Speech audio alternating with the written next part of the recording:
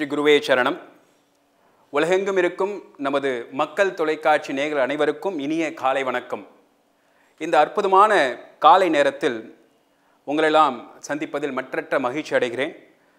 நமது பாரத புண்ணிய பூமியில் எத்தனையோ மகான்கள் ரிஷிகள் நாயன்மார்கள் ஆழ்வார்கள் பிறந்திருக்கிறார்கள்.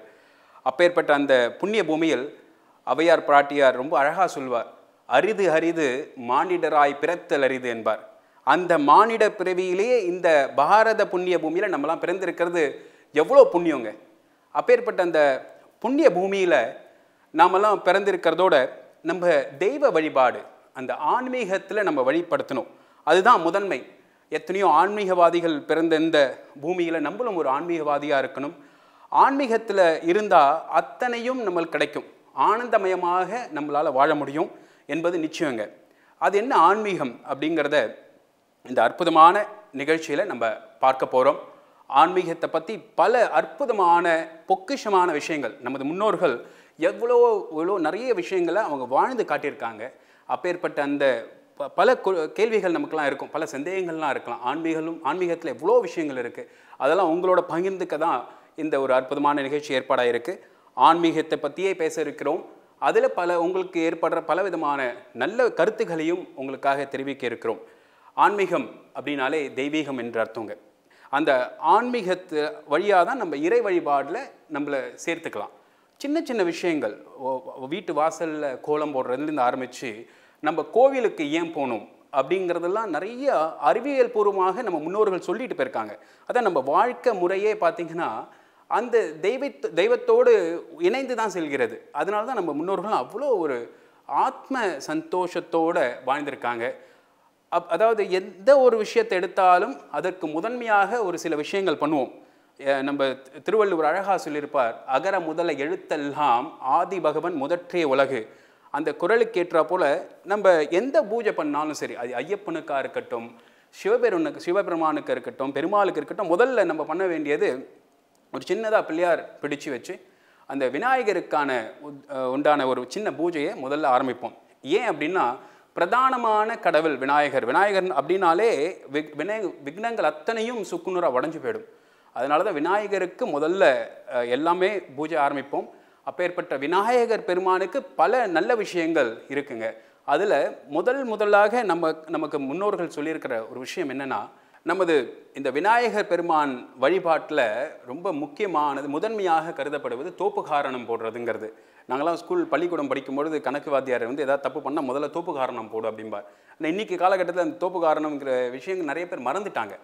அதாவது நம்ம தோப்பு காரணம் போடுறது ரொம்ப எளிதான விஷயம். அதுக்கு முதல்ல ரெண்டு ஐந்து தலையில் கொட்டிக்கணும் இந்த இடத்துல. அதுக்கு ஸ்லோ ஸ்லோகம் இருக்குது நீங்கள் சொல்லலாம் சொல்லலாம். இல்லைனாலும் பிரச்சனை இல்லை. சுக்லாம் பரதனம் விஷ்ணும் சதிர் வர்ணம் சதிர் பூஜம் பிரசன்ன பதனம் தியாயத்து சர்வ விக்னோபசாந்தை அப்படின்னு அஞ்சு தரம் தலையில் கொட்டிட்டு இந்த ரெண்டு கரங் கரங்களையும் இடதுகரம் வலதுகரம் வலதுகரம் இப்படி காதை பிடிச்சிக்கிட்டு முழுமையாக கீழே உட்காந்து எழுந்துக்கணும். கீழே உட்காரும்போது முழுமையாக மூச்சை வெளியே விடணும். ஏந்துக்கும் போது முழுமையாக மூச்சை எடுக்கணுங்க. இந்த ஒரு தோப்பு காரணம் மட்டும் நம்ம தினமும் பண்ணிட்டோம்னாலே நம்மளுக்கு எந்த ஒரு நோயும் வராது. அதாவது இந்த இதை வந்து இன்றைக்கி வெளிநாடுகளில் பெரிய யோகாவாக அவங்க கடைப்பிடிக்கிறாங்க ப பல பல பக்க விளைவுகள் கூட இதனால் சரியாயிருக்குங்க. இது மாதிரி இதெல்லாம் ஒரு சின்ன விஷயம். ஆனால் நம்ம என்ன பண்ணுறோன்னா எதையும் முழுமையாக பண்ணுறதில்ல தோப்பு காரணம் அப்படின்னாலே அப்படியே ஒரு பாவனையாக மேலேந்து பண்ணுறோம்னா முழுமையாக கீழே உட்காந்து மேலே எழுந்துக்கிறது தான் தூப காரணம். அப்போ தான் முழுமையாக பலன் கிடைக்கும். நம்ம பண்ணி பண்ணக்கூடிய அத்தனை விஷயங்களும் தெய்வ வழிபாடாக இருக்கட்டும் எந்த ஒரு விஷயத்தையும் முழுமையாக பண்ணினால் அதற்கு பலனும் முழுமையாக நிச்சயமாக கிடைக்கும். அந்த அதில் எந்த விதமான ஐயமும் கிடையாதுங்க. அதே மாதிரி தான் நம்ம பாரம்பரியத்தில் விநாயகருக்கு எத்தனையோ ஸ்லோகங்கள் இருக்குது எத்தனையோ நல்ல விஷயங்கள் இருக்குது அந்த விநாயகர் வழிபாட்டை நம்ம தொடர்ந்து பூஜையை எப்படி பண்ண போகிறோம் அப்படிங்கிறத நம்ம தொடர்ந்து பார்க்கலாம். ஒரு ஒரு வீட்லேயும் நம்ம இப்போ மனசுக்குள்ளேயே பார்த்திங்கன்னா நிறைய நல்ல எண்ணங்களும் இருக்கும் தீய எண்ணங்களும் இருக்கும். நல்ல எண்ணங்களை வளர்த்துக்கிறதுக்கு நம்ம தீய எண்ணங்களை அழிக்கணும். இப்போ நம்ம வீட்டுக்கு யாராவது ஒரு விருந்தாளிகள் யாராவது வராங்க அப்படின்னா நம்ம என்ன பண்ணுவோம்? வீட்டெல்லாம் சுத்தம் பண்ணிவிட்டு அவங்கள வரவேற்கிறதுக்காக காத்துட்ருப்போம் அதே போல தாங்க கடவுளும். அவரும் நம்ம வீட்டுக்கு வரணும் அப்படின்னா நம்ம பூஜை அறையிலேருந்து எல்லாத்தையும் ரொம்ப சுத்தமாக பண்ணி அதில் வந்து ஒரு விளக்கேற்றணும். விளக்கேற்றுறது தான் ரொம்ப ரொம்ப ரொம்ப பிரதானமாக பாரம்பரியத்தில் சொல்லியிருக்காங்க. இந்த தோப்பு காரணம் அப்படிங்கிற இந்த விஷயத்த நம்ம தினமும் பண்ணினாக்க இதை வந்து ஒரு சூப்பர் யோகா அப்படின்னு வெளிநாட்டில் ஆராய்ச்சி மூலிமா கண்டுபிடிச்சிருக்காங்க. நம்ம முன்னோர்கள் யதார்த்தமாக பண்ணுறது இன்றைக்கி ஆராய்ச்சிலாம் பண்ணி சூப்பர் யோகான்னு சொல்கிறாங்க குழந்தைகளுக்கு ரொம்ப ரொம்ப ரொம்ப நல்லதுங்க. இதில் ஆன்மீகமும் இருக்குது அரசு அறிவி அறிவியலும் இருக்குது ஏன்னா நம்ம பண்ணக்கூடிய இந்த ஆன்மீகமாக பண்ணக்கூடிய விஷயத்தில் நம்ம உள்புறமாக மனமும் ஆரோக்கியமாக இருக்கும் வெளிப்புறமாக நம்ம உடல் முழு முழுமையாக ஆரோக்கியமாக இருக்கும். இதே மாதிரி ஒரு சின்ன சின்ன விஷயத்துலையும் நமக்கு நிறைய ஆக்கப்பூர்வமான நல்ல கருத்துகள் நம்ம சம்பிரதாயத்தில் இருக்குங்க. நம்ம ஆன்மீகம் அப்படின்னு சொன்னாலே அதில் கிடைக்கிற பொக்கிஷமான பல விஷயங்கள் இருக்குது தொடர்ந்து இந்த நல்ல விஷயங்களை உங்களோட பகிர்ந்துக்கிறேன். நாளைய தினம் மீண்டும் ஒரு அற்புதமான உங்களுக்கெல்லாம் பயன்படக்கூடிய ஒரு நல்ல விஷயத்தோடு மீண்டும் சந்திக்கிறேன். அதுவரை விடைபெறுவது உங்கள் வாசனையர்